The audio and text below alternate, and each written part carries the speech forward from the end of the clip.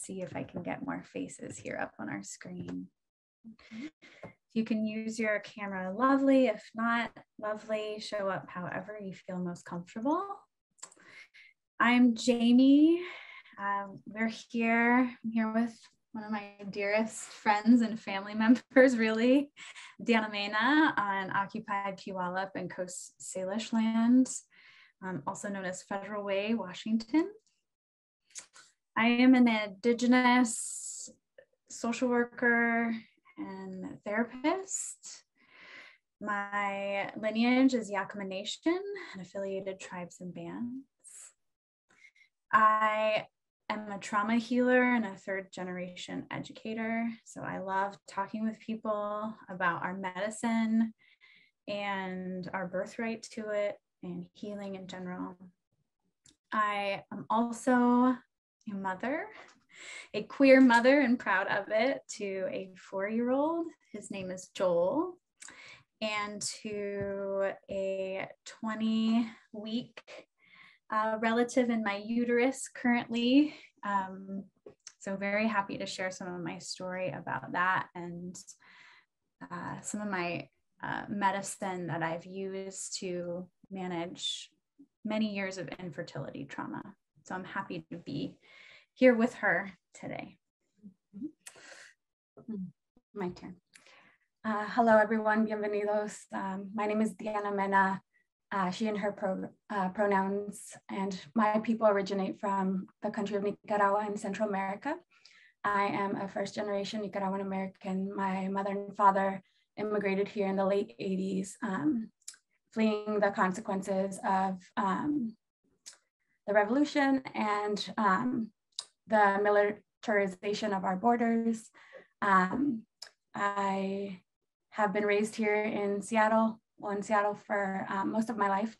And um, I am a clinical healer. I am a healer in my lineage.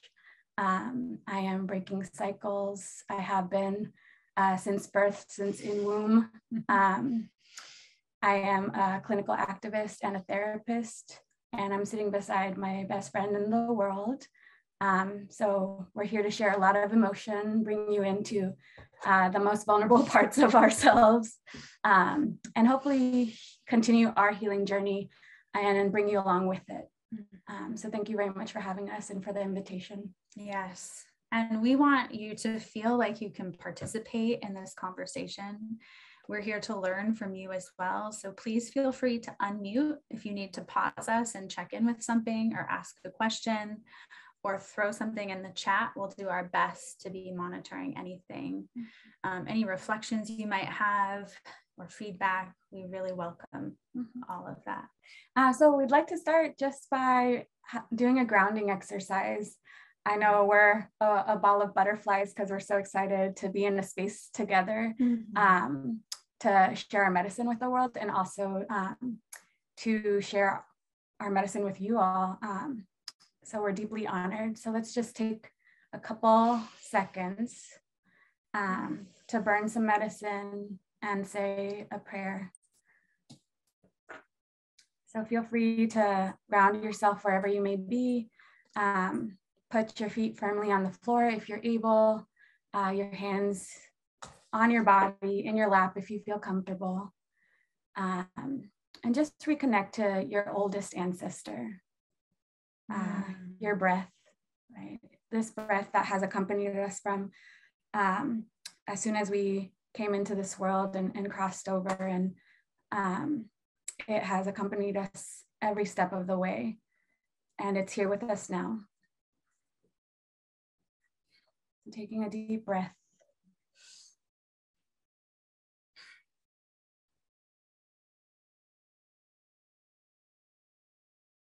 And with that breath, we honor all the sacred parts of ourselves. We honor the medicine that's always present. We honor the world, the land, and the roots that take us back all the way to our ancestors, that connect us to our ancestral knowledge, and forward towards the followers of our lineage, the people that will come, our descendants. We thank them for their strength, for their trust, and for our communal resiliency,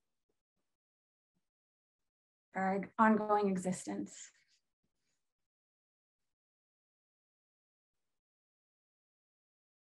May we all be grounded, rooted, and free. Mm. Thank you. Ometeotl.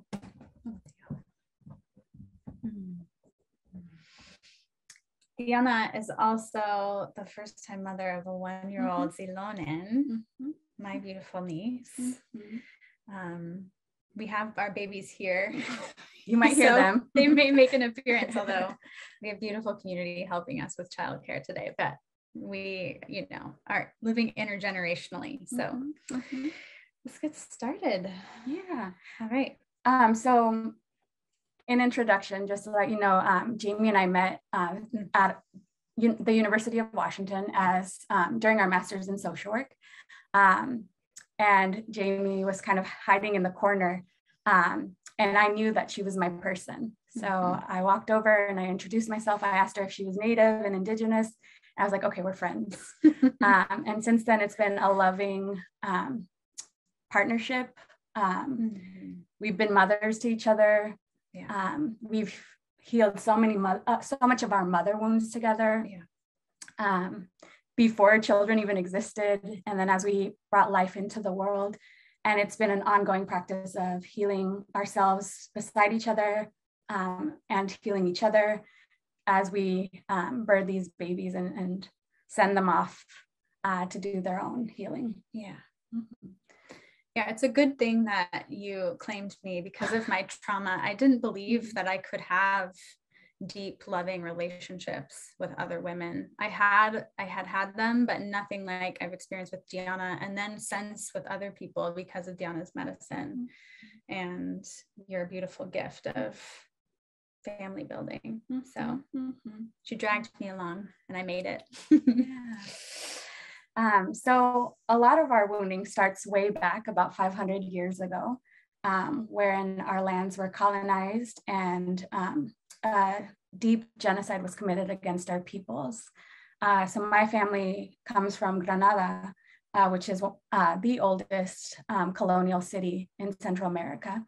Um, and so um, the Spanish came around 1515 um, and began um, colonizing. So my connection to uh, being indigenous is one of reclamation um, because it's over the 500 years of survival um, it's been um, difficult to retrace these roots and, and find a specific tribe and a people. Mm-hmm. Um, but it's important for me to reclaim that and pass it on mm-hmm. In my Xilonen. So um, we wanted to start off by talking a little bit about that and introducing the topic of historical trauma mm-hmm. and how that turns into intergenerational trauma. Yes. And, and particularly how historical trauma and the, the trauma of genocide was designed to mm-hmm. directly disrupt our caregiving relationships with our you know the descendants of our womb but also our kinship relationships with all of our relatives mm-hmm. and this was by design so my tribe in its beautiful resourcefulness mm-hmm. and um, just incredible capacity for survival signed a treaty in 1855 to keep access to our ancestral homelands, and as a result, lost innumerable relationships, right? It, it, we celebrate our treaties and they're a story of our losses. Mm-hmm. So, you know, historical trauma, when I think about how it intersects with my womb in particular, I almost don't have words to fully grasp the grief there and the loss and that was that was by design right so um, a lot of my reconnection to my womb has been about claiming that story for my lineage claiming that story of loss and grief and all of the beautiful ways we've survived but all of the all of the pain and shame that we've also had to live with. Um, And as a cycle breaker, I uh, my role in that story of historical trauma is one of medicine for this you know not only the seven generations to come but the seven generations that came before me um, and to yeah just believe in my my my right to our healing mm-hmm. mm-hmm. and and our birthright to the lineage yeah. um, because i think for a lot of us we struggle with identity we struggle with language um, with calling ourselves indigenous with reclaiming the medicine um, and feeling like it belongs to us mm-hmm. and that too was an intentional systematic um, intervention so that we would be interrupted and disconnected um, from the historical legacy and medicine of our ancestors. Yeah, absolutely. So, what's historical trauma? Yeah, so historical trauma is all of all of those things we've said and a whole mess of other stuff. Mm-hmm. um, it is the intergenerational passing of, of of these atrocities we've spoken of, of course, the genocidal loss, um, the loss of our of our people, our land, and our kinship relationships with our land and our more than human relatives. And it's a really it's a real introduction, I think, into our lineages about um, about how to feel ashamed of ourselves because we're not enough. We don't fit, fit, you know, fit this white supremacist colonial model of human even. Mm-hmm. Um, for many of our tribal groups in Turtle Island, we've had lots of different ways to survive that shame. And that in, it, in and of itself then creates stories of disconnection. Um, for example, historical trauma for me as a mixed race Indigenous person living as both colonizer and colonized, that relationship was, I was taught that that was a story of shame. That was something to hide from hide myself from and other people from. I was told that that was something those two stories i cannot hold as one that is a story of historical trauma for me. It's also profound disconnection from our ritual practices of healing. My people in particular are profound keepers of healing in innumerable ways prior to settler colonialism and after. And because of historical trauma, we hear all these messages about all of our deficits and wounds from colonialism. And instead of that full story of our access to our knowing, which is our knowing is about healing. And if we inherit historical trauma, we also inherit survivorship and wisdom and medicine. Mm-hmm um, yeah, go ahead. Yeah, it always amazes me to think about how, um, even in the worst of circumstances, our ancestors managed to save this medicine for us. Yeah. Uh, they managed to save the medicine and pass it down. Um, and we didn't even realize how they did it or what they did. Um, but it's here, right? Mm-hmm. And it's waiting for us to, to reclaim. Mm-hmm. Um, so that spiritual wisdom is very, very present. Mm-hmm. Historical trauma is also an inheriting of participating in familiar patterns of survivorship that are both sacred but continue to cause us harm. So, a pattern that I am seeking to heal in my lineage right now is um, how do I say this with good medicine in my heart? Mm. Is a reliance on the colonizer for safety whether that be uh, a relation, a partnership, or a marriage with somebody that's harmful, um, or a, re- a, relationship that's out of reciprocity with with anything. I've seen my um, you know my matriarchal line give up a lot of their medicine just to survive and part of healing that for the people who've come before me, these incredibly powerful Indigenous women, is saying we have a right to peace and safety that's Indigenous. And that has been not always the, let me just, it's not easy and it's been really painful. But even just watching my mom, she was a, a teenage mother. We're going to get to a little bit later about our histories with our own mothers, but her real challenge with being Indigenous because of historical trauma and the intergenerational trauma, she always heard she wasn't enough in her Indigenous identity. And I remember years ago, she's an incredibly gifted relative to plant medicine and herbal medicine. Just it's just in her DNA. And I said, Mom, you could grow medicine in a crack. Like you could mm-hmm. grow it anywhere you went. And she said, and she just beamed with pride. Mm-hmm and that was like there it is. There's the there's the intergenerational healing. We mm-hmm. inherit that too. Mm-hmm. yeah. Yeah i think that's why we're such powerful ancestors already. So such powerful elders even in our youth because um, for for our parents and, and for our grandparents we're the ones naming um, the strengths and resiliency of our indigenous selves and of our people um, and reminding them of who they were. And that's not always easy. Um, and it's not always um, welcomed by these same family members, but we keep bringing our medicine regardless. Yeah. Mm-hmm. But I think that bridges with the, um, the next um, definition we wanted to share around intergenerational trauma. Um, and I think Jamie has named some around um, disconnection um, loss of medicine, loss of identity, loss of connection, loss of um, of mothering, of capacity, mm. ability, techniques of mothering. Mm. Um, yeah. For my lineage in particular, uh, an inability to protect our daughters from harm, um, and sometimes embodying that harm towards our daughters. Um, yep. There's a lot of um, uh, residential schooling trauma is very present in my lineage. It's only a couple of generations away. And I have done a lot of um, very specific healing around that, around how anxious I feel as a mom. Mm-hmm. Literally, like somebody will take my mm-hmm. son from me. I, I and that is part of that intergenerational trauma that's passed down. Recently, he decided he wanted to start using the bus.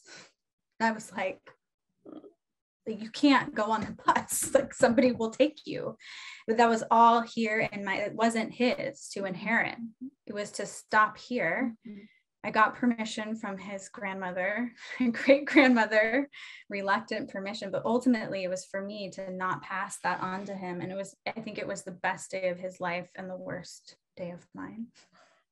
Um, but some of that stuff that that intergenerational trauma you might i realized i didn't even have words for mm-hmm. it because it happened to my ancestor's body and, it, and it passed you know passed it down um, through you know our dna and our genetic expression of how we even experience fear mm-hmm. Um, mm-hmm. and i remember that morning before he took the bus just shaking with fear mm-hmm. um, and i thought okay I got to get my medicine out. I got to move through this, not ignore it, acknowledge this wound, this deep, profound wound, and let my son live his life. Mm-hmm. Mm-hmm. Yeah, for me, um, uh, just to build on how intergenerational trauma isn't necessarily spoken or named. Um, and we sometimes don't have cognitive, um, right, a cognitive understanding of what happened to our people or it shows up as an embodied experience um, where there are no words, but like our body knows that something happened. Um, I was pregnant during um, 2020, so the first year of COVID, um, and COVID made it possible for me to even consider um, having a child, but it also brought along with it its own grief and um, its own wounding. And so my first trimester, I was I experienced such intense loneliness, mm-hmm. like deep, profound loneliness that I could not understand for the life of me. I could not explain. Um, right. And it was so intense. And part of that was the pandemic. Yes, I'm alone when for the first time in my life when I have all these sisters that I expected to be present for me during my pregnancy. Um, but it was so intense in ways that it didn't make sense yeah. because I chose this pregnancy Um, I immediately felt connected to my daughter. Um, I wanted her. I have a supportive, loving partner. I made this choice to birth this child. It she wasn't a result of violence mm-hmm. um, for the first time in my lineage. Yeah. And so this isolation, this this loneliness, this grief that I felt didn't make sense. And it wasn't until about my third trimester, the completion of my third trimester, that it, it hit me. Um, it took me, it even takes this mental health therapist or trauma therapist a while to catch up um, because this is an embodied experience, sometimes not, not the cognitive um, process um, that we're sold. But it wasn't until the completion of my third um, trimester that I realized that I made the connection that if it's histo- if, if it's hysterical, it's historical. Mm-hmm. And I learned that from my teacher, Resmaa Menakem. Um, and so he was always very firm. If it's hysterical, it's historical. Mm-hmm. And what that meant that if it's overly exaggerated, if it feels so big, if it feels yeah. like uh, so heavy, consuming, you. consuming, yeah. um, you have to look back at your lineage yeah. to make that connection of who it belongs to. Mm-hmm. Um, and in so many ways, I realized that this this loneliness was my mother's experience with me when I was in her womb. Um, and when I realized that, it was another grief process that had had to happen, but also it was so liberating to realize that this loneliness was not true for me, um, that it didn't belong to me, and that I didn't have to carry that or pass it on to my child. Mm-hmm.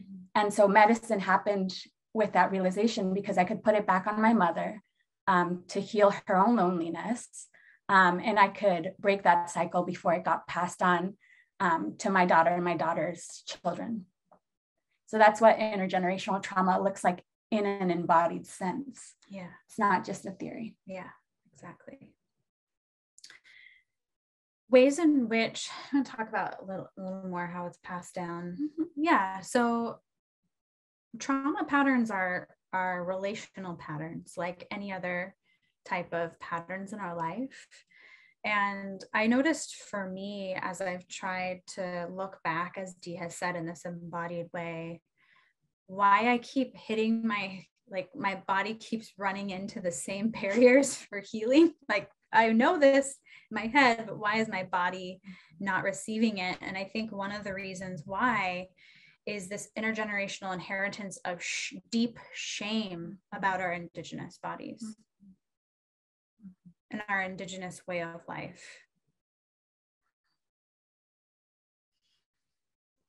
And I have given myself permission for that wound to heal. And it, you know, it's it's it really depends on who I'm whom I'm with. When I'm with it, when I'm with Indigenous medicine, an Indigenous circle or ceremony, that healing is much quicker. It's like there, that's what it needs. Mm-hmm. And it's tough because I'm not always in in that embodied space. So giving myself permission for that wound to feel more healed or deeper has been really liberating.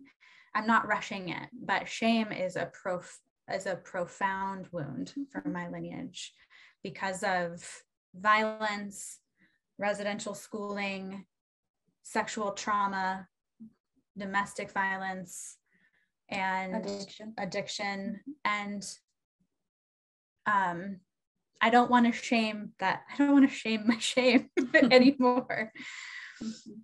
Yeah, I um. So it, it it is passed down through shame, and what what's important for that we want you to take away is that the medicine also comes with the wounding. Like it, it's not one or the other.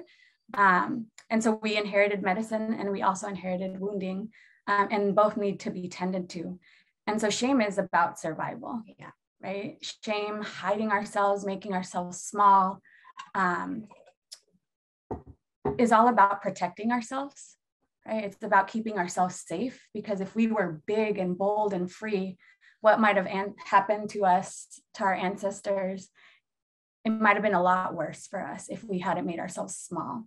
And so shame is um, passed down um, through family secrets, right? through sweeping things under the rugs, uh, through silence, um, unprocessed grief, unprocessed sadness, and colonial thinking about these subjects, right? That make us feel bad and shame our shame um, rather than recognize how we have um, protected ourselves in order to be here today. Yeah, we're, we're taught to keep other people's secrets, mm-hmm. to keep all of us safe mm-hmm. and internalize that for many of us trauma survivors, being a childhood domestic violence survivor, a, huge way and a sacred way I survived daily violence in my household was to believe that I was doing something wrong. Mm-hmm.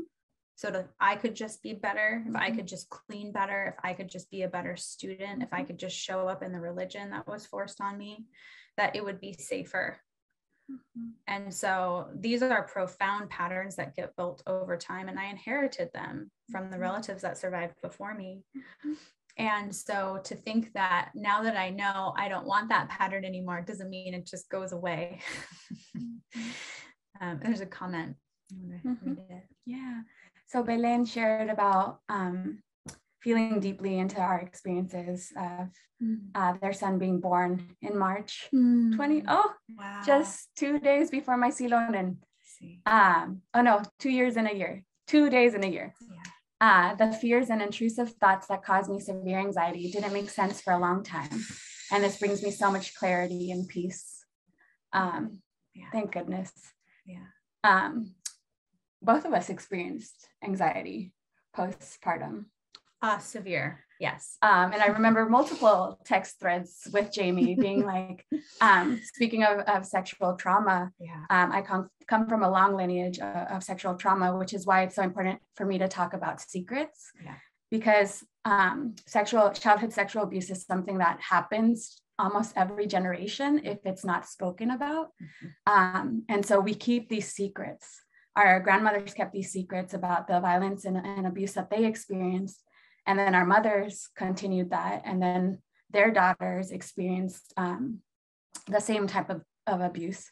And so it has been so important for me. Before I could even become a mother, I needed to process my experiences of sexual trauma um, and the lineages experiences of sexual trauma, um, because it was crucial that before I brought a child into the world, um, I needed to shift out of that pattern I needed to be protective and I needed to make sure that that cycle broke. Mm. And so I remember when when my child was born, one of the biggest triggers for me was changing her diaper. Mm-hmm.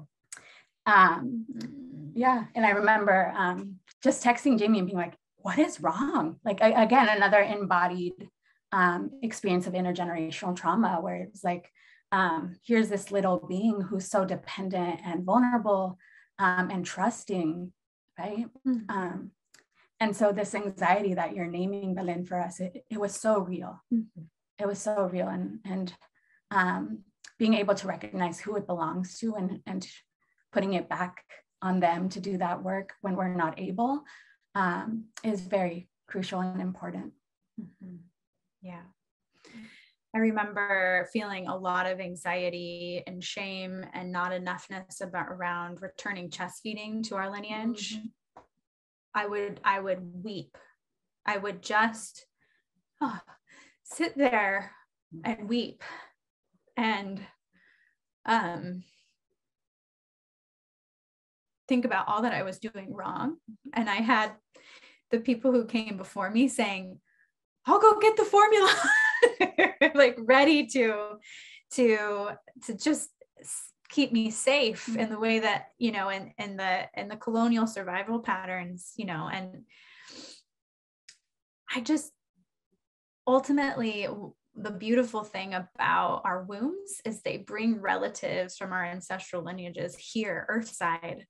And i remember looking at him and i was like i trust you. I trust you with this repair in our lineage. Mm-hmm and he went on to nurse for two years like all day every day until he was done he's a virgo so he was like i'm done now um, oh look at oh, hi baby hi oh.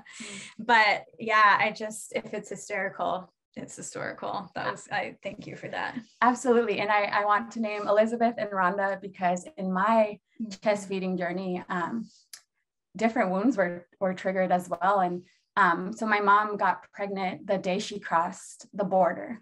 Um, and she didn't know the language. She didn't know um, the place. She didn't know medicine. Um, and what's powerful is that my mom was badass enough to know that she wanted to be intentional having a child, but she left her birth control in Nicaragua. and it um, so along the journey, she um, she had planned previously, and then she lost that medicine and um, against her will, like she became pregnant. And um, so by the time she was ready to have me, she goes to the hospital, and the nurse doesn't speak English. Um, it's a public hospital in Los Angeles. Um, there is no trauma informed care, there is no cultural competency. Um, there's a lot of racism and classism that happens in those public hospitals. And my mother comes from a society that's um, virginity and purity of women is so highly prized mm-hmm. um, that she felt so much shame mm-hmm. in about her naked body and um, all of the doctors were men and it was a student hospital so that there were all these men opening up her um, opening up her legs to check her dilation and to study how like the birthing and labor process.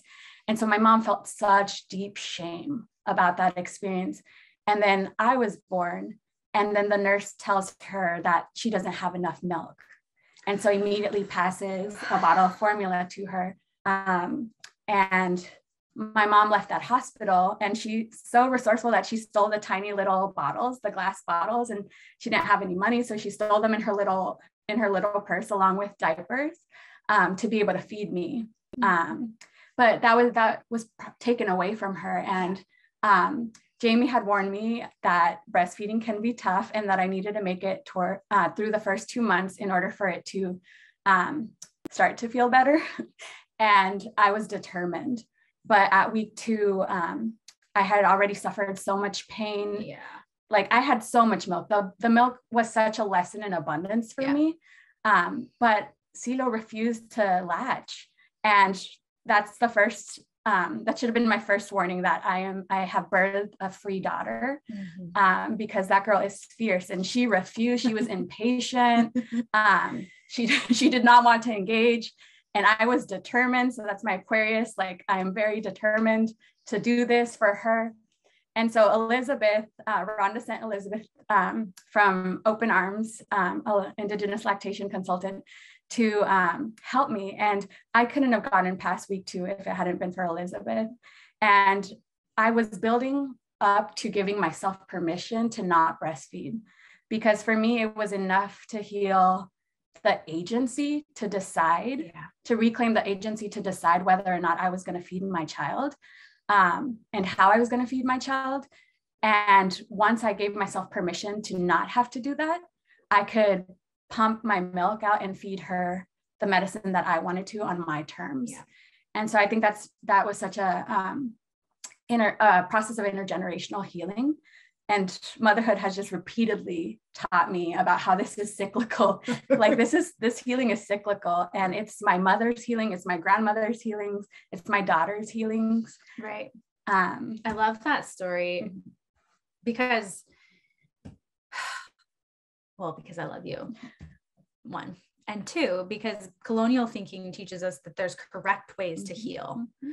And there's the right and the wrong and there's this prescription and you know buy this book or whatever.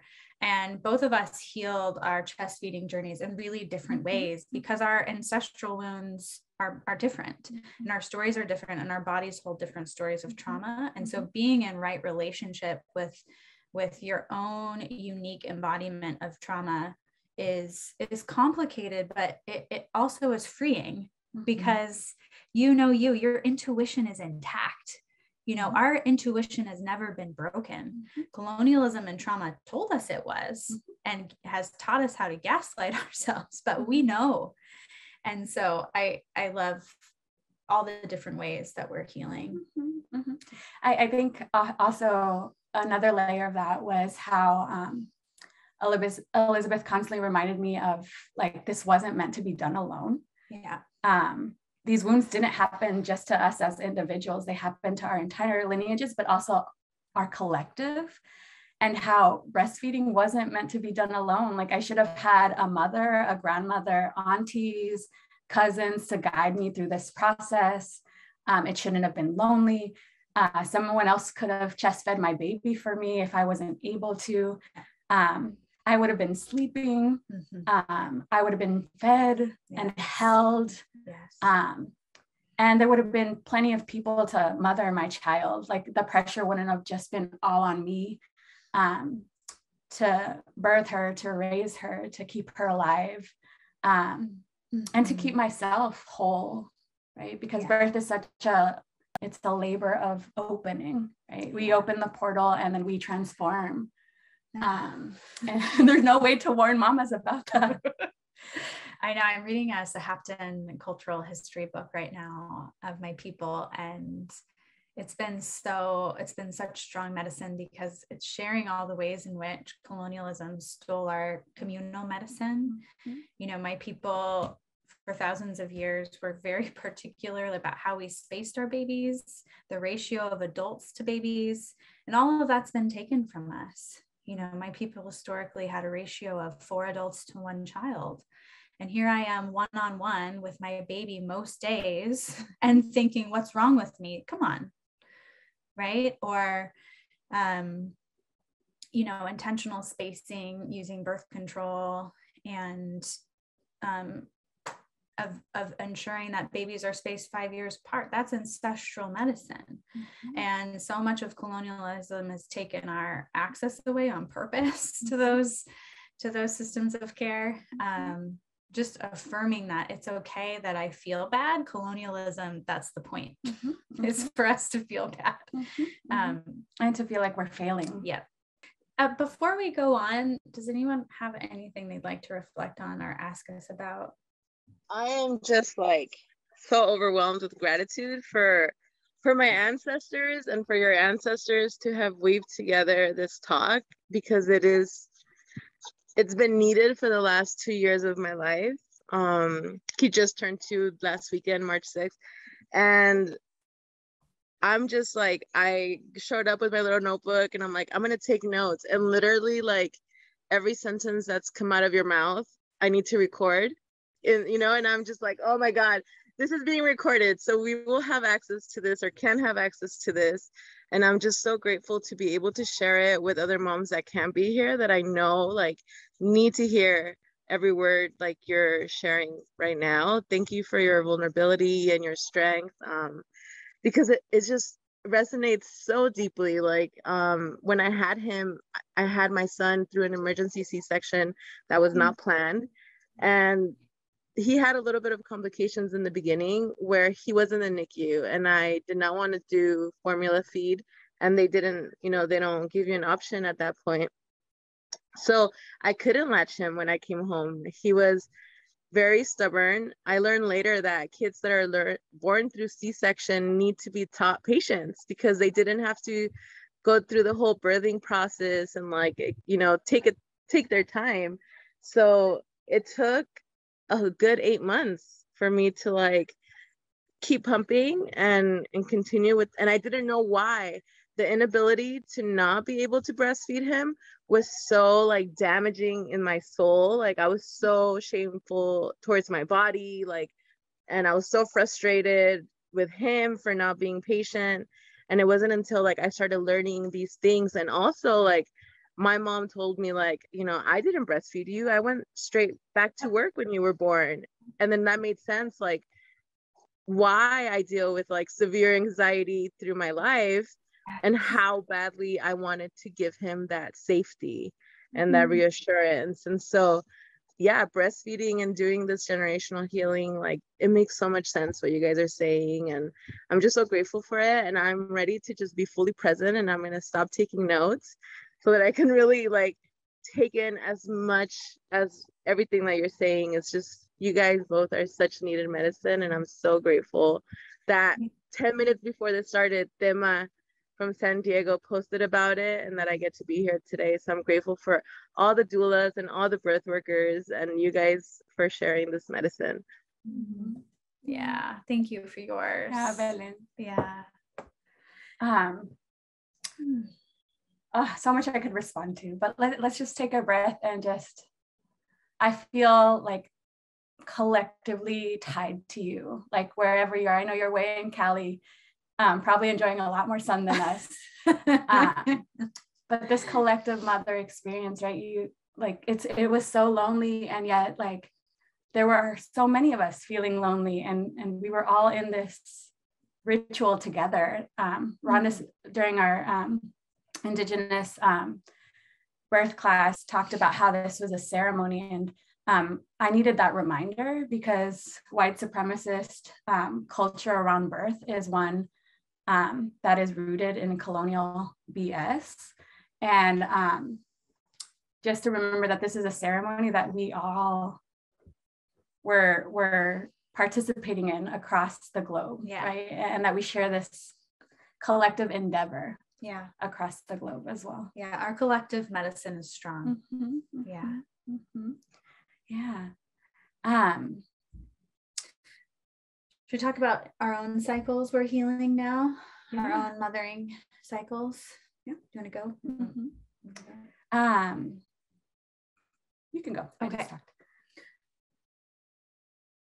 the beautiful thing about healing is that it's collective always. It's not just for us. It's for our lineage and seven before and seven to come. And i went through a really interesting part journey to mothering. I was a uh, you know i'm a survivor of domestic violence. I was diagnosed with ptsd in my late 20s as a result. I remember the first time i heard someone say i was abuse survivor i thought like shh like don't what? No. Mm-hmm. and so before i was able to name that story i knew i did not want to be a parent. That was my medicine for it. I just won't do it. And then I remember I was working in primary care and went into a room with a lactation consultant um, who was trying to help a mom uh, breastfeed and she was weeping, weeping, and she couldn't stop.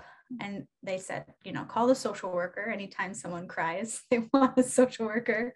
I love tears. Tears are strong medicine. I got my tissues and I said, "Is it okay while you, you know, take care of yourself that I hold your baby?" Hmm. Hmm. And I took that baby in my arms, and I'm telling you, my womb opened up. Like my whole chemical, like structure of my body changed. I started to salivate. I got really hot and sweaty. The uh, lactation consultant was like, "Are you like?" Immediately was like, "You okay?" And I was like, "I'm amazing. I'm so good." And I immediately started trying to get pregnant after that day. It was just like, this is my inheritance, this is my true desire.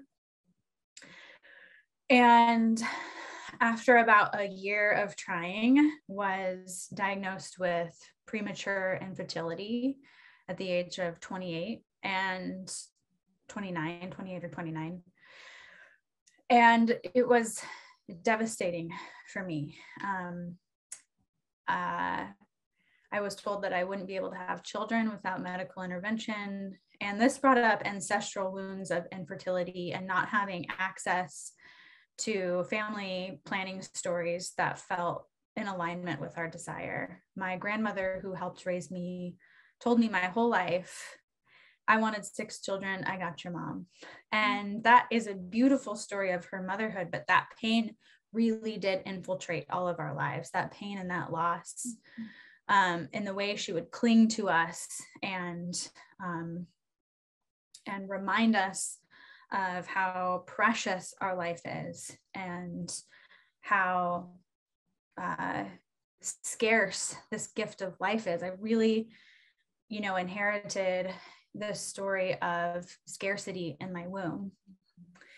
And what ended up happening because I, uh, I, I went through a lot of depression, couldn't get out of bed, couldn't eat, and I ended up taking joining some indigenous um, medicine around growing our food in indigenous ways. And after that class was over, I got pregnant with my four year old, Joel.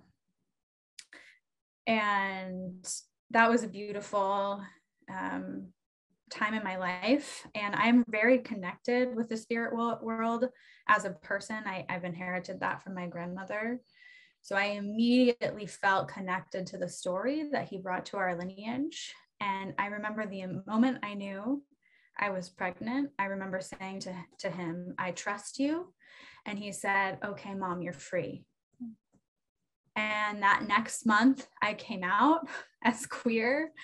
I stopped attending church. He came here and he was like a cycle breaker in my womb. I, I can't even explain it. It was just like, okay, and now I know he's a very powerful person. He's a very wise person. So it makes sense that he had such a strong voice in my womb. Um, so I got to heal that relationship to my true identity as a queer person and um, heal a lot of shame around that.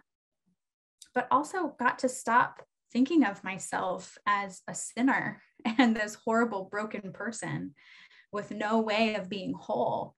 My son gave that gift to me and um, now I get to give that to him. He he got to choose his pronouns. Like I he chose them about a year ago. Before he was a he, he was I'm Joel Weber. Don't call me a boy or a girl, please. And so I think I don't heal like it's not this individual experience i don't heal the the generations the gener we do this together mm-hmm. it's this like collective process mm-hmm. um to make a long story short about infertility it's been a seven year journey so i'll speed this up a little bit i could talk forever i'm yakima native so i could just sit here and talk talk talk um, i ended up pursuing like fertility treatment in 2021. And we lost our um, baby Juniper this past June. And again, another power relative. I fell in love with her the second she arrived in my womb. And she said to me, Joel said, You're free. And Juniper said, You get to have peace. Because Diana knows I was trying to heal my lineage with work. Mm-hmm. that was not that was not the medicine. Mm-hmm. And Juniper said, You get to have peace. You're enough. You don't have to have three jobs. You don't have to live in scarcity. You're enough. Um, so again, oh, baby's liking that. Yeah, that was sister. Um, so I went into a pretty deep grieving ceremony after I lost Juniper. I let myself weep. I let myself have rage. Diana helped me a lot with ceremony around that. And we had a beautiful ceremony before I tried to get pregnant again in September. And I, oh, November. And I did. And this relative, the ancestral wound, this relative is healing is you get to feel bad. Mm-hmm. you don't have to be the strong one anymore. There's no fix for feeling bad. I lost 10 pounds my first trimester with this pregnancy. I would eat and then throw up. I would wake up and throw up. I would brush my teeth and throw up. I would drive and throw up. And I had all the medicine I needed for this, but this baby was like, no, we're vomiting right now. That's what we're doing. And you don't need to fix it. And it's okay to feel bad. You're enough. Mm-hmm. And that has been the strongest medicine of my life. And that is powerful medicine for my lineage because of all the strong people I come from, the resilient people I come from who were never allowed to have a bad day mm-hmm. because we wouldn't, they wouldn't have been able to work. They wouldn't have been able to keep themselves safe in their marriages. So I've had a lot of bad days this pregnancy, and it's been really strong medicine. So those are some of my cycles I'm healing. Just a few. There's a lot. yeah.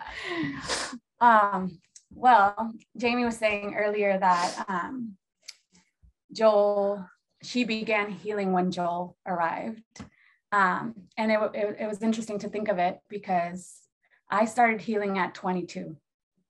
And I started laying a foundation of healing for um, whoever decided to make their way in the future. But at that time, I was like, hell no, I'm never getting, never having a child. Um, I come from my mom, I shared a little bit earlier, who um, did not have choice in becoming pregnant. And I come from my grandmother who had um, 12 children. Um, I don't know how many um, apart from that, but 12 stayed, um, were alive. her first son was with a man who was of a different social class than she was. Mm. And so he was taken from her. Um, and raised by his paternal mo- grandmother. Um, and so that is one story that um, really came up with the ancestral intergenerational trauma that I wasn't expecting. Like when Jamie was talking about um, putting her kid on the bus, um, my child being taken away. And it wasn't till I felt that that I made the connection between my grandmother and her first birth story um, and these feelings of um, something happening to my child or being taken away from me and um and so i come from that lineage where my grandmother had a child like every year and a half. Um, and this began when she was a teenager um, and continued on until like her 50s i think. Um, and so this woman never had choice never had agency. Um, and I, I don't know her personally but this is the the story that i have made sense of. Yeah. Um, and to then have my mother who also didn't have choice like she had choice in her homeland um, but once she crossed the border she lost that choice. Um, and then for me to then have a choice right? It, it, felt like such a weight. And i was immediately like nope. So i came from a mom um, who had two daughters and i'm, I'm the oldest. Um, so i've been mothering yeah. Um, since in vitro but as soon as this three years later when my younger sister came into the world and um, I went straight into a parental role for her. Um, and I entered a partnership role with my mom um, when she split up from my dad. Um, and so mm-hmm. cycles that I've been healing have been about like um, reclaiming my desire to be a mom. Like it was down deep in there, um, but it was taken away from this older sister role, um, from this par- early parentification, and from my mom, like her way of keeping me safe um, was to tell me that like the worst thing possible you could do is get pregnant. Mm. And so that was my entire childhood. And she thought that would protect me from sexual activity. She thought that would protect me from sexual abuse, mm. um, sexual violence. She thought it would give me choice. Mm-hmm. Um, and so she prioritized education, she prioritized being financially independent um, rather than motherhood. And so at 22, I had I got married very young. Um, and at 22, when I was with this partner who was respectful, loving, kind, supportive, um, we were having so much tension like at that stage in our relationship. And I knew it wasn't because of him, and I needed to go to therapy. Um, but there was no therapist that looked like me. Mm-hmm. Um, and there was no therapist that understood the cultural context. Um, and no therapist that wouldn't tell me, like, cut off your mom. Or, um, and so the, it was a journey of building up to find the therapist that would help me along this healing journey um, that would keep all of the parts of myself whole. And so from 22 to 30, 30, when did I have Sita? Um, around 32, a 10 year, it took me a decade yeah. to move away from hell no, I'm never going to have a child to calling Jamie up and being like, um, should I have a child? and Jamie being like, of course.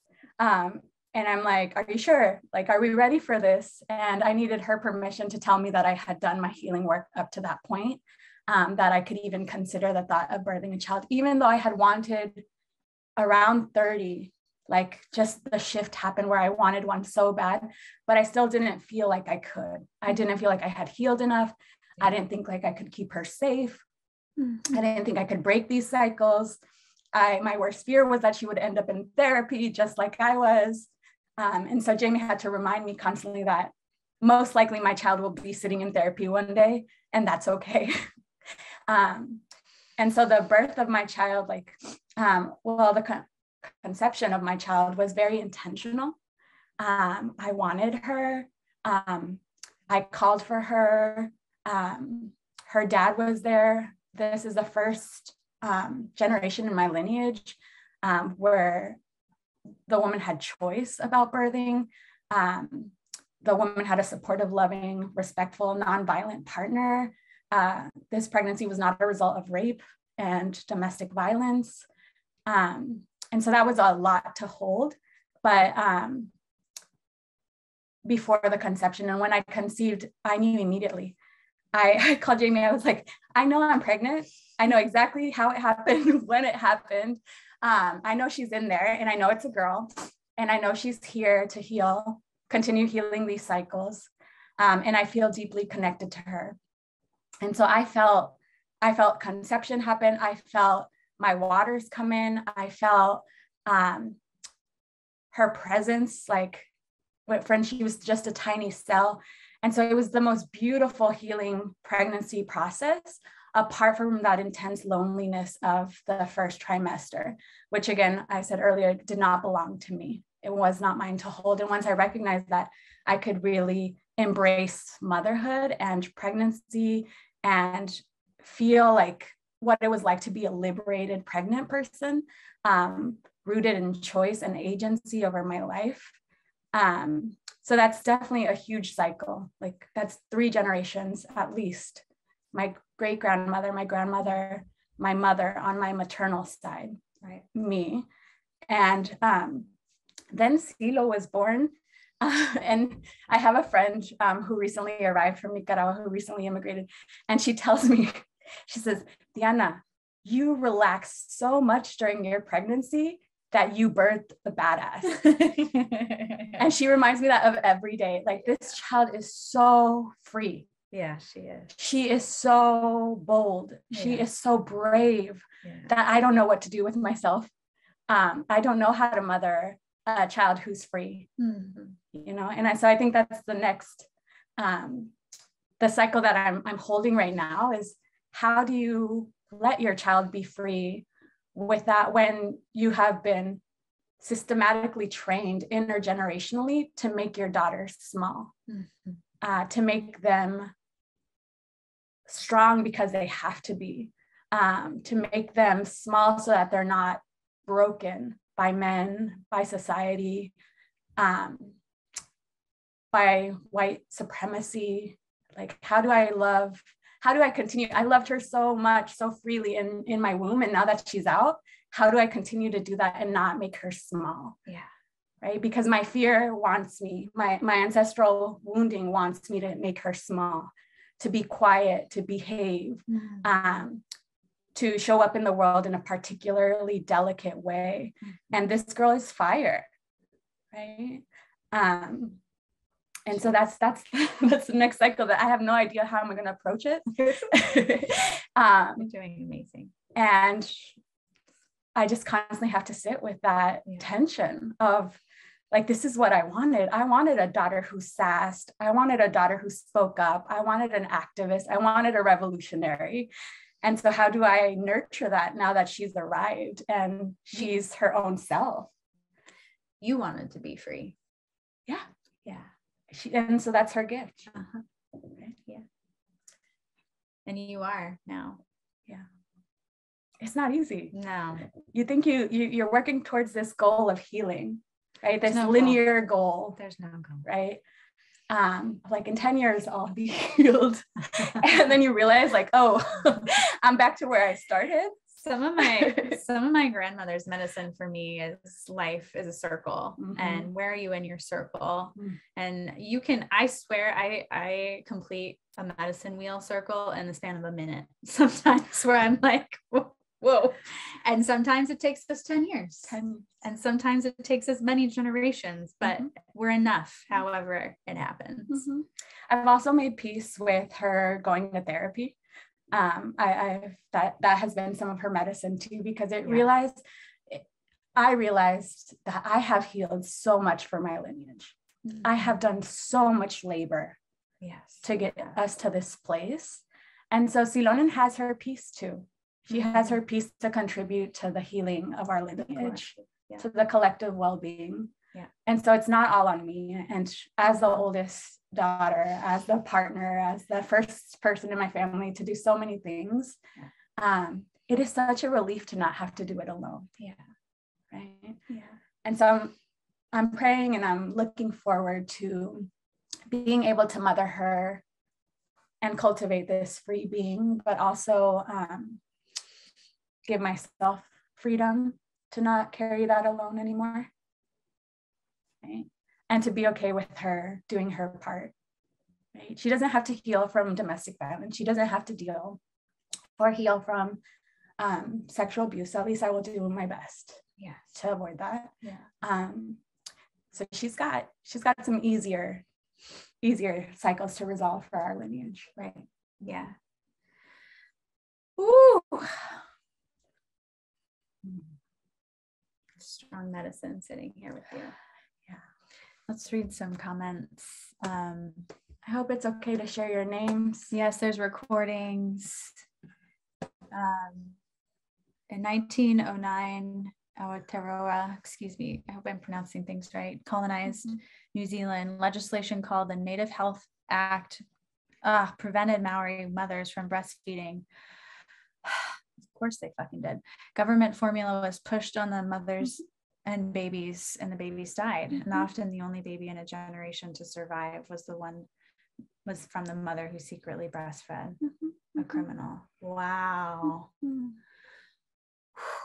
I feel that collective grief. Mm-hmm. Thank you for sharing. Thank you mm-hmm. for sharing. Yes, this will be recorded. Yeah, so powerful. Mm-hmm. Thank you both for sharing the intimacy of your ancestral healing journey, mm-hmm. for calling in these ancestors to your wombs and listening to their calls. Yeah, to mm-hmm. continue this collective healing for us all. Thank you. Phoebe. I wanted, um, so the reason why I was quiet when we were transitioning from ancestral definitions to oh. cycles oh. is because I was um, thinking a lot about um, uh, Belen's comments earlier, mm-hmm. and um, two things that were important for me to talk to bring up um, was um, how you want to remember, in order to heal some of these um, ancestral woundings and intergenerational trauma, sometimes you have to go back to your own childhood, and that's easier to do. Um, this healing is easier to do when you remember the age you were when yeah. you were struggling with this for the first time. And you have to do that by thinking about what age your child is. Um, so, excuse me if that was circular, right? We're on native time here. um, so when um, so I had this beautiful pregnancy, and then Xilonen was born, and the hardest nine months of my life happened. Um, well, everything that was that the only things I can remember postpartum. so they became the hardest parts of my life. And those nine, those six months uh, were were very hard for me. Um, and I felt this disconnection from her, which I was not prepared for. I just felt so disconnected, so zoned out. Um, I would tune her out. I remember I was going to one of Rhonda's medicine gatherings and um, for Mother's, no, not for Mother's Day, a different one. And Silo was wailing in the back of the car um, and I was just so zoned out. And I show up at this event and I'm not there. Um, I'm an anxious mess trying to calm this three month old baby who's howling. Um, but I, that disconnection made me feel so much shame, mm-hmm. so much shame. And that continued on until I would say nine ish, at, at a less extreme, but around nine ish um, months.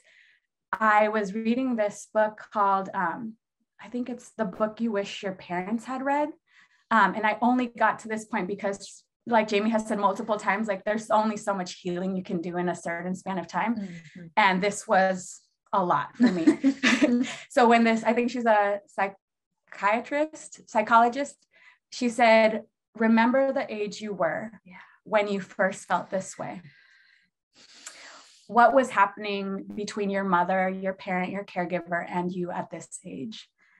And I realized that that's what was the dynamic that was playing out with my mom and it makes absolute sense. I have so much empathy and compassion for her because, given all the circumstances that I've shared about um, her birth story and um, the lack of access, resources, social support, the isolation, she was far from her mom for the first time in her life when she was pregnant with me and postpartum, and she was alone. Mm-hmm. Um, and so I can just imagine how disconnected she felt from yeah. that how disconnected, how she was trying so hard to survive um, and get through without any knowledge because at that time we didn't have WhatsApp. You couldn't video call, you couldn't FaceTime your mom to ask her, What do you do if this kid is screaming?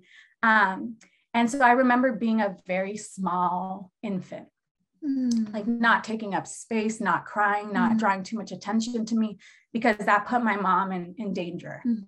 Um, and so i feel that on in, in a deep cellular memory. Mm-hmm. and so when i when i remembered that i looked at silo and silo was about six, um, nine-ish months and it clicked. It was another moment. It was another moment like oh this isn't mine. That's my baby. And i felt an instant shift like a light switch happened and she was mine mm-hmm. you know mm-hmm. um and so that's just remember like as you're struggling through this process of mothering a, another being um, parenting another being what age were you during this time mm-hmm. like what age were you when this first showed up how old were you um, so that you can remember what it's triggering in you when mm-hmm. you see your child mm-hmm. that is such important storytelling mm-hmm. around healing because we trauma is in our bodies right? Mm-hmm. it's not this cognitive story. It's um it's this cellular memory of how we survived. And then we have this next generation arrive with their own story that's separate from us. And we want to pull them in. Oh yeah. Rhonda can Rhonda, I add something? jump in. Yeah. I'm sorry it was i wanted to just share after this thought. Um, but I just, Diana, as you were sharing of, um, you know, witnessing and holding your baby and um, thinking back to these other moments. And i just wanted to share as as a grandmother um, that there was this other like layer and dimension of healing as as i witnessed what my daughter then was mm-hmm. sharing with her child and this next layer of healing of um, for example you know what she brought into her birth experience with confidence um, the the absolute you know fierce commitment she had to nursing her baby um, these these parts where I see my granddaughter and and I just see this perfection all over again, and um, and yes, there is this deep grief of I wish I would have protected this time more closely, or you know there were these moments that um, you know I was pulled away by life and mm-hmm. that I mm-hmm. didn't have. Um, but this when we're on this conversation of of just motherhood and and healing ancestral wounds I just want to say that, you know, the that we have this opportunity to make these change, uh, to, to make this change as we parent and um, and that now I'm just seeing the some of the rewards of that, um, and the, the the next steps that I I hope as as future generations and and the world I want my grandmother my granddaughter to live in, and for her children to live in. But there are these just little moments where I have this just breath of hope, where I see um, the differences and the choices that that I and commitments I made um, with parenting, and you know the hard sacrifices and the hard looking at trauma right in the eyes, um, and then I get to see, you know, the the next chapter of that. And so yeah. I just wanted to share that um, that yes, it's it's profound to see um, and to reparent yourself um, as you're parenting, um, and and that that process is is so ongoing um, with each with each new you know aspect of parenting and you know remembering what it felt like to be a teenager and remembering what it felt like um, to just all of those transformations that that we you know try and support our children with. But as they find their own way and they find their own path and they you know uh, push against some of the things that you really you know desire for them and and they figure it all out in their own way um you know but but she does carry different traumas and she does you know she's definitely doesn't carry um, a lot of the ones that i fought really hard to keep yeah. away from her life yes mm-hmm. yes mm-hmm. Yeah mm. and rhonda i honor you for your role in your granddaughter's like mm-hmm. experience today yeah um, i think motherhood um, has given us insight into our mothers in ways we could have never imagined mm-hmm. um, and in a lot of ways they gave us so much wounding but i think about the fact that my mom got us to this country you know i think about the financial stability that my mom fought for um, so that Xilonen could have a backyard and a garden and access to medicine and um, freedom. Like my mom caused me wounding in many ways, and also she laid the foundation for me to even be able to engage in this healing work. Um, and so every, I think it's very true that every generation uh, puts in its its work and it's um, adds a piece to the puzzle so that we can yes. continue to pass that on and, and that's our responsibility mm-hmm. yeah my i'm my mom had me when she was 18 and i am now pregnant when i would have been 18 mm-hmm. and my mom says to me often it's such a joy to watch you parent how I wished I could have. Mm-hmm. And I always say to her, um, I wouldn't be here mm-hmm. being able to have this life without you. Mm-hmm. Because while she was surviving domestic violence, she was telling me, Jamie, have your own money. Mm-hmm. this is how you, this is how we stop this cycle. Mm-hmm. Jamie, you know, you are going to, no one ever has gone to college, you're going. I had no choice. Mm-hmm. There was no mm-hmm. what way for me to not go to college. And that was, that now brings me grief mm-hmm. as I'm trying to decolonize all these things these white people taught me about healing.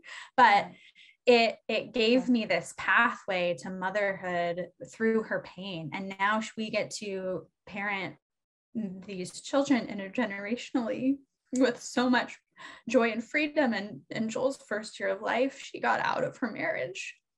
Like he gave us that gift because she saw the peace and the joy that was available to us. And um, I got my mom back for the first time in 32 years out of this hold of violence and to just watch her heal or even have the opportunity to heal um, while grant being a grandparent um, is such a tremendous, tremendous gift. Mm-hmm. Um, there's a lot of pain that we're unpacking, mm-hmm. um, and a lot of wounds that and and um, things that are coming up as a result. But there's so much celebration. It's both are true mm-hmm. all at once. Mm-hmm.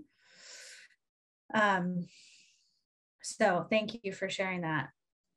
Um, and and now watching you know, great grandma's going to be here. I have a countdown on my. She lives in Arizona in the winter and she lives intergenerationally with us in the summer. And watching her and Joel together, I just, you know, they play on the floor for hours, right? Like Joel makes my grandmother young and she makes him old and they they they are in such celebration with each other's humanity and it's so easy for them. Um, so yeah, the grandparent role, thank you, Rhonda, is very powerful in my life. There's no way I'm here sitting here without my grandma. No way.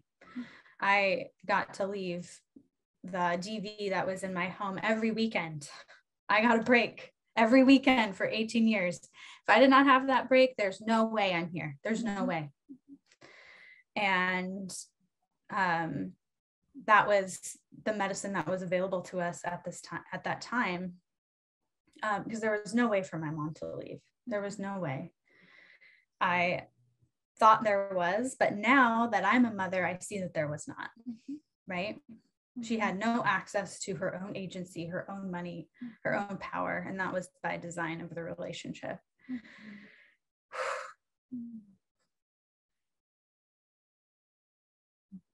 and joel got here and said both y'all are free. Mm-hmm. right? Now unpack some more healing. Yeah.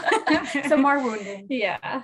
Um, another thing Rhonda mentioned is also how like we're healing different aspects of ourselves like mm, yeah. simultaneously. Like we're healing our baby selves we're healing our mother selves we're healing our daughter's self. Um like i think um as a small child i wasn't allowed to say no to my mom. Mm-hmm. um and now as Xilonen's like mother i get to say no to a lot to my mom. But in a lot in a more balanced way than i was first healing around age 22 where it was like deep freeze at that time where like I needed space and disconnection from you um, because you are an unsafe person for me. Um, versus now uh, um, more than a decade later um, because I have my daughter I can say no um, in a more gentle way um, because I still need to protect my baby self um, as I'm mothering her, mm-hmm. I still need to heal my inner child, um, um, help her lick her wounds when her mother doesn't show up in the ways that she needs her to, or enacts um, more of these, more of this wounding. And I need to be able to do that for myself so that I can interrupt any wounding from getting to my daughter. And my my mother i know she has every intention of healing our relationship through our through yeah. her grandchild yeah um she wants my daughter's love so much she wants a different relationship with my daughter than she has with me um and that's that's been healing to observe how much she loves her and also to observe the ways she still unintentionally passes down harm um like she'll do things like um she'll say, Oh, Xilonen doesn't do what she was doing last week. Xilonen used to do this and she doesn't do this anymore. Um, and that might not seem like much, but it's a lot because it's disapproval on my mom, um, on my mom's part towards Xilonen experimenting. Like she's a one year old now. Um, and she keeps changing on me. she keeps becoming freer. And I don't think my mom knows how to mother a granddaughter who's free um, because she didn't know how to mother a daughter that was free. And so it still it still flips her upside down when yeah. she sees this uh, this happening. And I have to be that protective factor for yes. my daughter yeah. and say, Xilonen's just exploring. Yeah. Yeah. Xilonen's just exploring. She's figuring out the world. Like that's okay. Yeah. Um, and sometimes that rubs her wrong. And, and I have to be okay um, with doing that as a mom because it wasn't done for me. Yes. Yes. I um am a trauma therapist recovering from infertility, grief, and PTSD, and mm-hmm. and I'm a have had a young toddler in quarantine for two years, and so my house reflects that. and my mom comes over and she's like, This place is a mess. Like, how are you living? How are you surviving? Lots of disapproval mm-hmm, messages. Mm-hmm, mm-hmm. You must feel so ashamed, all of this stuff. And finally, I called her back. I called her and I said, Mom, you are welcome to my home anytime. We have a no knock policy. I'm I've always meant, meant that. My home is your home, you know. And I have a mess as a green light to myself that I am prioritizing my health and my mental health and my parenting over all else. And if that's all I can do, then that's all I can do. And she said, I drove away and I regretted shaming you. And I realized I had deep grief about how I had to have my house clean over being a mother. Mm-hmm. Because if her, if our home was not clean at all times, she would get more violence.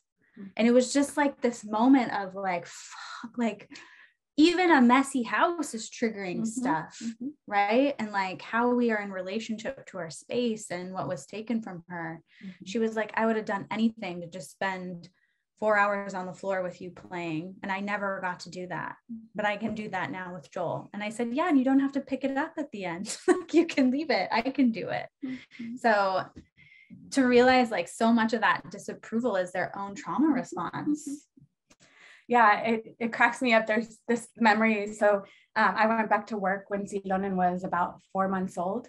Um, and I was at a girlfriend's house right before um, that weekend. And I took this picture of Silo, and she's lying in this leather recliner. And the le- leather recliner is beat up. It looks bad. Um, but it was the cutest thing because she fit right in the therapist chair. Um, so I, I posted it on, on social media and I said, Your therapist is back in office. And I shared it. And then I get a call from my mom. Um, and my mom says, You should be embarrassed. I would never post a picture of my granddaughter in such a state. And I'm like, immediately, like, just this bucket of cold water hits me. And I'm like, small. I'm making myself small, which is what I do in our relationship and i'm immediately like ashamed and i don't even know what i'm ashamed about all i know is that i did something wrong and my body is responding exactly to that um, and so I, I asked her like what are you saying like what are you talking about and she's like you you posted that picture of Xilonen in that ugly chair like aren't you embarrassed um, and i was like thank you for calling just to let me know i will speak to you later and I hang up the phone. I took a breath and I call Jamie and I'm like, Jamie, you will never know what my mom just did. You will not believe what this woman did. And it's so true. Like my mom grew up so poor, where like people's opinion of you was your Yeah. meant your survival. everything yeah Everything to her. Like people's opinion, her family's opinion, their approval, because she's so used to making herself small in those relationships. And she knew that if they were these pictures were on social media, that people would get a wind of it.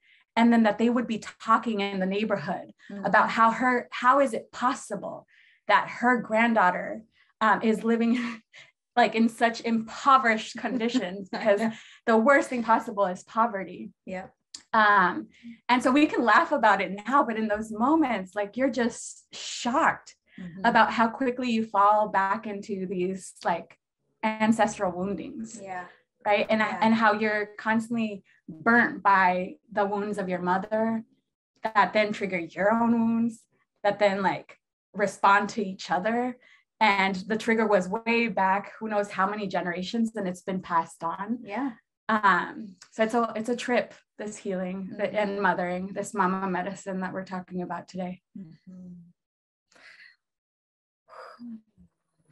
But yes, our current healed selves get to transcend these times and show up for our past selves who needed us during these trauma traumatic events. Mhm. Yeah Belen, thank you. thank you Okay, so Rhonda, do you think we should keep going or do you want to open it up for questions? I think um, Yeah. I think, like we should answer maybe one more question just to close full circle. Um, okay our testimony. Yeah. And then how do you feel about opening it up after? That sounds perfect. Okay. I just think this question is really important. Um, just to give ourselves credit for the labor that we have done, um, not only in birthing these children, but rebirthing ourselves yeah um, and our lineages. Um, so, what medicine, dear sister, did you bring to your people? Woo. One of my earliest childhood, I'm a griever. I was born with grief medicine. Thank goodness, because I've had a lot of grief to offer myself and our lineage. And I one of my earliest memories, there's there was so much violence in my household. I would often go and hide to get away. And I would bury my face in the carpet and I would weep and I would cry and I would I would shake and I remember thinking, my earliest memory was there has to be an easier way to do this. Mm-hmm. This is the hard way. And that is my medicine for my lineage is is healing and ease. Mm-hmm. And doing uh, everything, every choice I make right now is about that, mm-hmm. about the second my grandmother needs something for her health, I'm going to have it for her. Mm-hmm. She won't have to think twice about where she's going to get that. And living in abundance. Mm-hmm. Um, when my mother was facing whether or not to leave and she was so scared i can't afford it i can't do it i won't be able to do it how am i going to have a home? I said you will live with me. There is enough. We live in abundance. We're in we're indigenous. We live in abundance. Ease is our medicine. Because women have struggled in my lineage for years just keeping us alive keeping us safe keeping us small. Mm-hmm. and now i just I feel greedy for ease. Mm-hmm. and mm-hmm. I'm so grateful to be in in in like just you're in my collective because you help me remind me of that because I say that it's a lot easier said than done. Totally. I like a lot of hardship. Mm-hmm. You know, I was taught that struggle made me safer and it made me more valuable as a human being. Mm-hmm. And so knowing that I'm enough when I am doing nothing, mm-hmm. when I'm resting, mm-hmm. um, and and there's just an easier way. There's an easier way to live. Um, and i brought that healing to my my mamas. Mm-hmm. yeah i'm kind of I, i've run out of words to answer that question. Um, like i think you spoke to abundance right? My people have generational struggles with scarcity my my grandmother, my great grandmother owned half of the the land, um, um, which Granada was built on. She, my maternal great grandmother owned, and she signed away the rights to her land by signing an X because she didn't know how to um, write her name. Um, and on my paternal side, my my grandmother also um, lost all of the generational wealth that she had built for my father and his siblings. Um, and so by the time um, I was born, my people had struggled with scarcity um, economically, um, systemically, like um, Nicaragua is one of the poorest countries in the world. Um, and that is an intentional, systematic curtailing of resources and exploitation. Um, but I think becoming going to grad school like made me free enough to jump ship and start my own business and live a life um, of leisure I, Jamie and I have a hard time because we're such workaholics, and that is the lineage inheritance that we have. And we, we're constantly working each other up to take vacation and to have peace. But the fact that I don't have to go to a nine to five, the fact that I'm not on my knees, like cleaning houses, mopping floors, and being paid a dollar an hour, or not being paid at all because my bosses are exploiting and taking advantage of me, which was very much my mother's experience. The fact that I'm not dependent on a man for money um, has healed my grandmother's um, my grandmother's experience, um, and the fact that I can give my child an inheritance where um, I don't think I'll be investing in a college fund um, because I don't want her to go to college if that's not where her heart is. Um, but the fact that we could even talk about money and investments in that way um, and no college. and no college what? Like my mom would die if i had to come home and said that because that was my one mission in life. That was going to make her proud and and so i i almost killed myself doing it but yeah. i did it for her. Um, but now i don't want that for my child. I want her to be free and i want her to experience the abundance of her bank account but also the land and live in reciprocity mm-hmm. um, and reclaim this medicine. Um, I took her out. Um, I planted, as soon as we got a plot of land, I planted 10 fruit trees.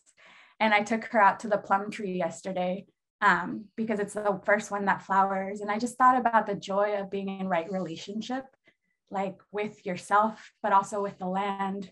Um, and being able to like work and then go out and play in my garden and, and cultivate medicine and, be, and talk to my plants. Um, yeah. And so I, I just think my life is so abundant. Like in, in terms of relationships, I, I mentioned multiple times the loneliness I felt. My daughter turned one on the 8th, and I did the biggest blowout ever.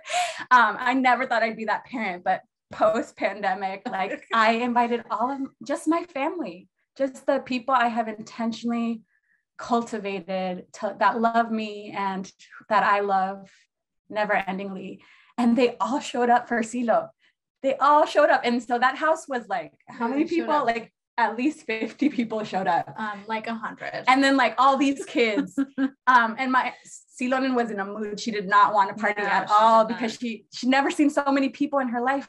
And I just like I was it was midnight that night and I'm staring at the ceiling and my eyes won't shut because I don't know what to do with such a loving presence, such an abundance of love and sisterhood and family um, and all of us healing all of us healing, all of us doing our work and enjoying. and enjoying life and experiencing abundance for the first time. And who knows how many generations in our lineages. And I got to share that with so many people. Yeah. Um, and so I just, I think that comes full circle to just the medicine that we brought for each other, for ourselves, for our babies, yeah. for our collective, for the world, for the earth, for Pachamama.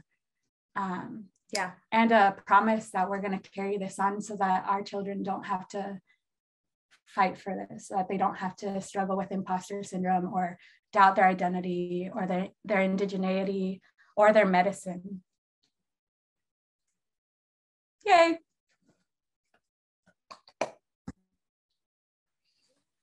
ah. All right. Questions or comments or any reflections about your own medicine? the the wealth and all and all of your DNA, our collective DNA. We inherited that too.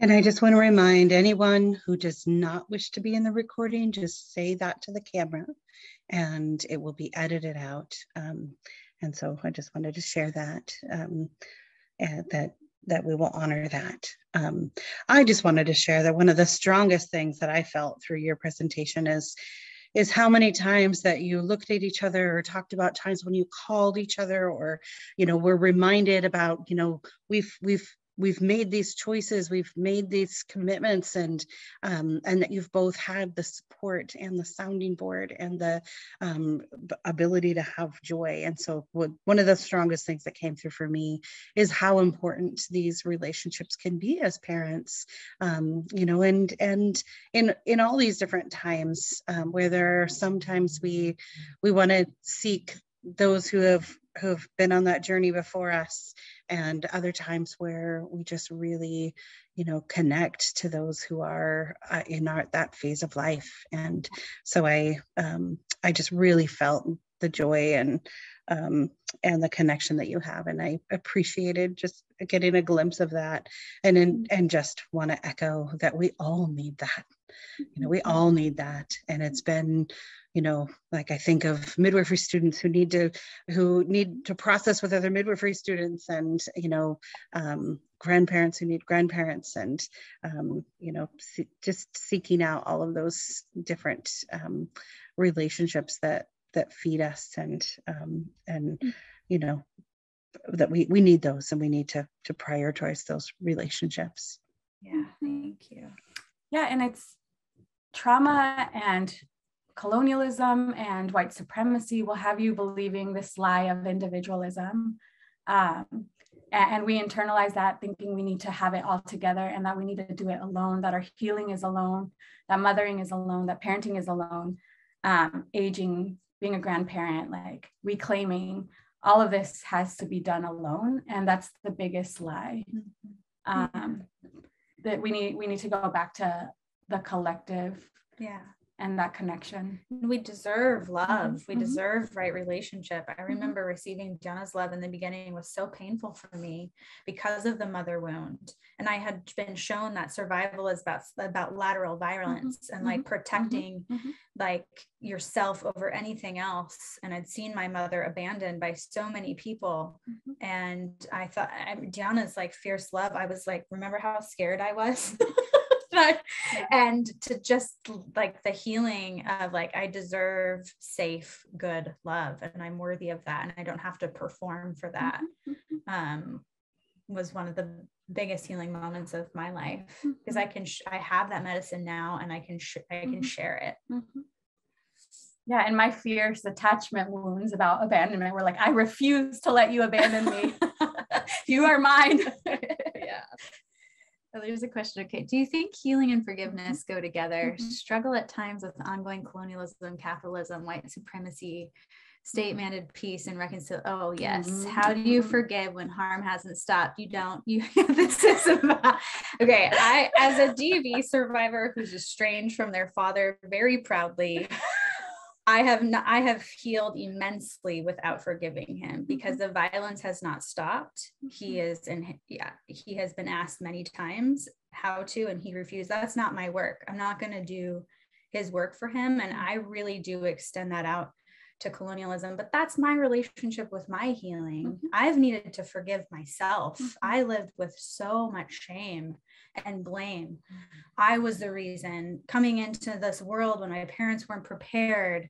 Um, I, I I took on so much of the blame for the violence that I have to forgive myself, and that feels really important to me. Mhm.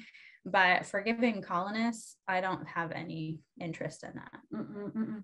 I I was just having this conversation with uh, one of my clients who feels like they have to forgive their dad and that they have to do it before their dad passes away.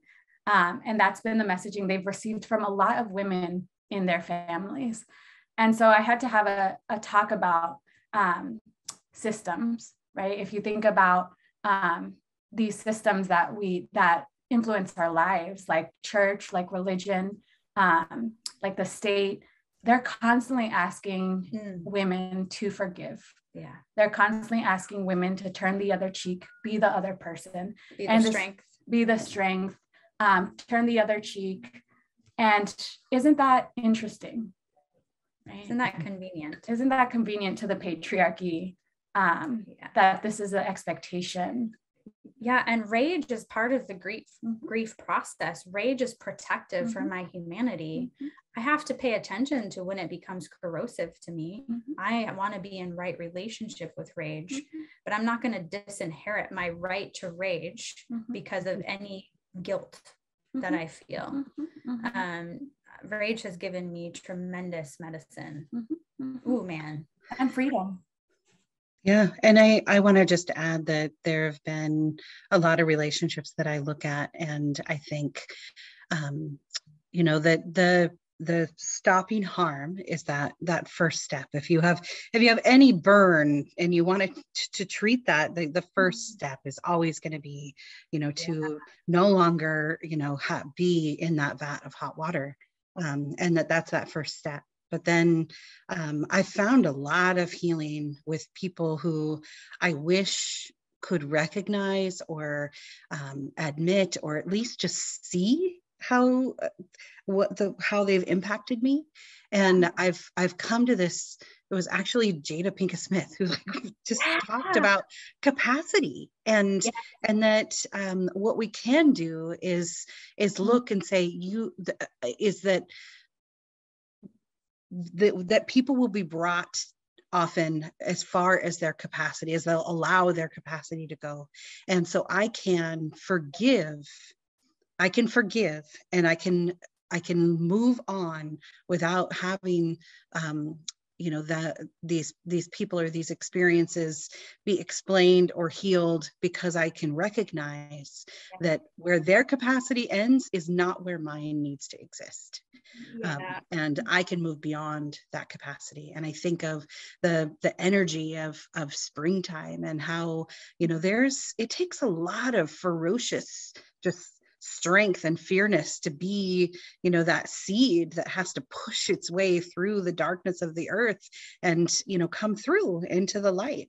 And um and that if we stay in that place of you know of of of circle circular non-healing non-moving from um, to, to truly just move on um, and leave behind what is no longer serving us we can just stay there you know we would we would just stay there and never you know rise through. Um, and so i think sometimes these reconciliation circles these you know um, grievance procedures mediation meetings um, that there it, it, gets to this point where it's a um, you know is this actually to keep me yeah. underneath the yes. soil um, and yeah. and when you recognize mm-hmm. um, okay this is all the further this relationship can can exist in and but it it doesn't mean that's where i need to stay no thank you for that rhonda and i i have been clear to my lineage like my choice my boundary is not my child's choice like i trust in his capacity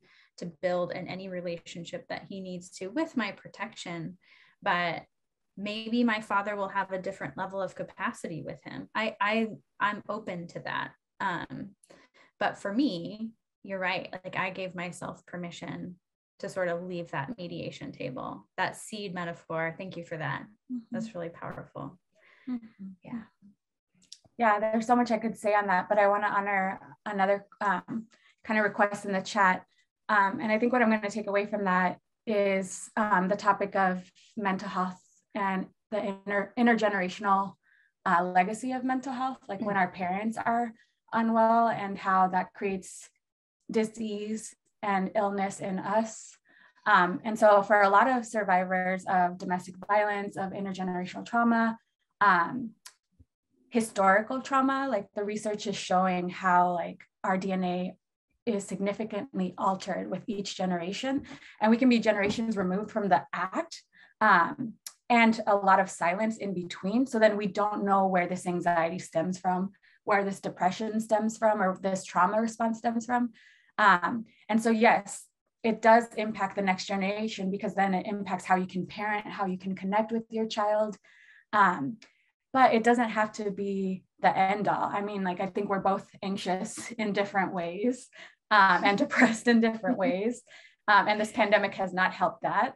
Um, and so we never we never enter the therapeutic relationship saying we're healed. Wow. Like we we intentionally laugh at that because we are we are constantly in a healing process alongside the people we're working with.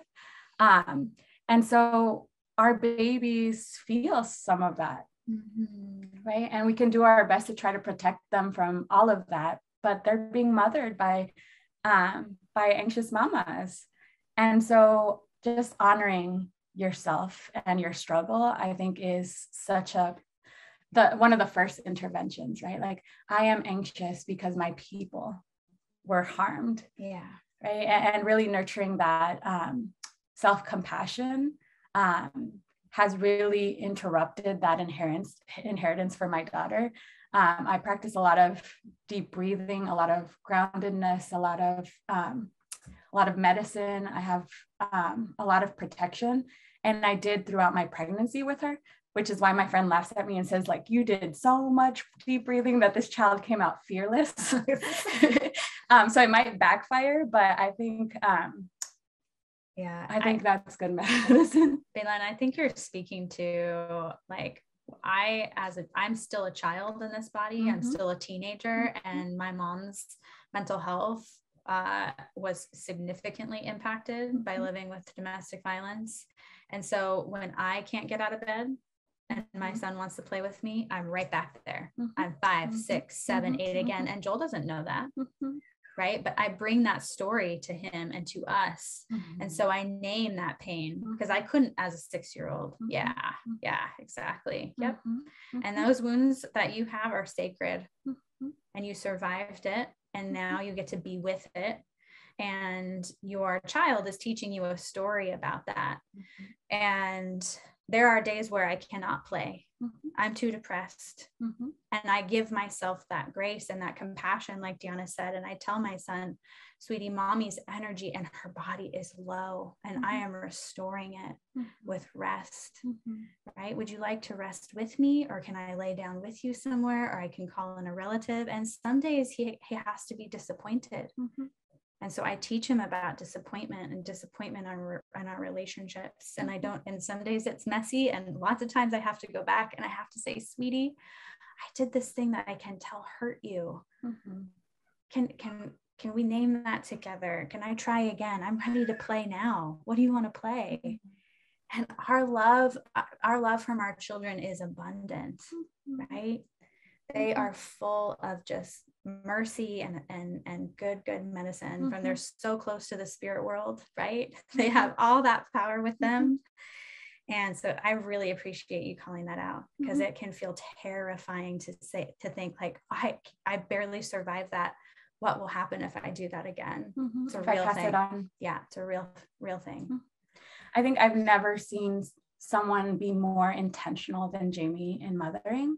And just so like earlier before we got to this presentation so much patience. I was already ready to lose it um, and it wasn't even my child. Like my child is screaming on the other end of the house.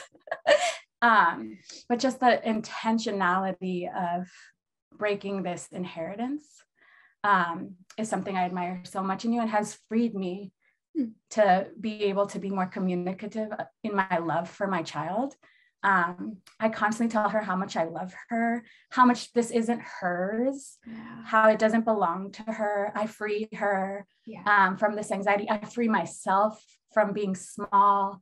Um, I free myself from my mother's wounds and I, I, know we talked a lot about mother wounds, but we also have papa wounds. We have, and, and we don't even, some, me and Jamie sometimes don't even touch on that lineage.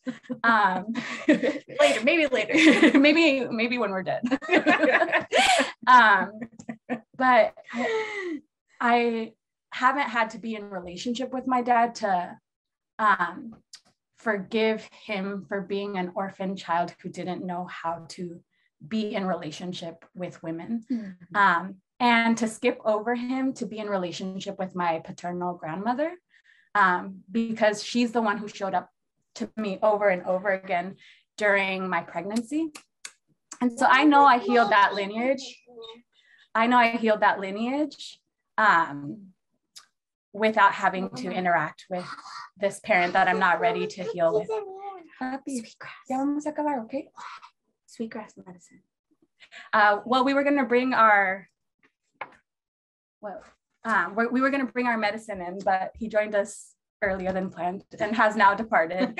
um, but I think I just want to honor that you have already interrupted um, mental health inheritances yeah. by speaking them out loud yes. and by being compassionate towards yourself. And I've seen you hold that baby. I've seen you love on that baby this entire time. So um, really honor the fact that your love is medicine for this child. Um, and I see it. I see it all the way from here. Yeah. Yeah, we're enough. We're mm-hmm. enough always. Yeah. Should I bring them in? Okay. I'll be right back. I don't know if they're going to come. Four year olds have their own agenda. That is not ours.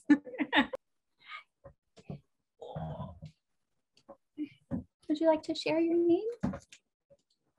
Or do you want me to talk for you? Joel, how old are you? Thank you for sharing your mothers with us today. I appreciate that. It's been a long time since I've seen her. She was I think. Say hi, Simba. Hola. No. Okay. Oh, you don't want to Mira el pipi, mira el pipi, ahí está. Oh, it's. ¿Lo miras? Mm. Ahí está. Hola, bebé. ¿Lo miras? well, thank you so much, um, both of you. And um, I just wanted to share that, um, uh, just to be clear, that these recordings are edited and um, uh, made available in multiple formats for anyone who would like to do that. We, I think today's the 25th episode. Um, so we have conversations on, you know, placenta teachings and, you know, cradle boards and um, healing after cesarean and, um, you know, uh, we there, uh, Ibu Robin was here today and, um, you know, shared also, we talked about global midwifery in one episode. Um, and so uh, you know, anyone who would like um, more of those, any parents, I also want to make sure that you are aware that we have Zoom at noon on Wednesdays. Um, and so for Center for Indigenous Midwifery, we are just working to support Indigenous families and um, as well as, um, you know, supporting more birth keepers in lots of different ways. Um, but in particular, if you are a, um, a family, um, we do have our weekly Zoom at noon every Wednesday uh, with different topics each week, as well as our childbirth ed programs. Um, and so I hope to see you at um, a future date. And thank you all, whether you are loving on families or growing your own or struggling your way through every single moment. Um, uh, you're thank you for for honoring that work and um, and you're appreciated and you um, you you deserve to be appreciated and held and loved through this these parenting journeys. So thank you all, and I hope you had a, a great day. Um, we honor your story and the connections to ours. It's been such a blessing. Yeah. Uh, thank you, Rhonda, for trusting me and, and letting me bring my best friend along. Um, but so much blessings for you all, and may you experience abundance for you and your lineage. Adios. Adios. Adi. Okay. Adi. Adi. Thank you all. Adios.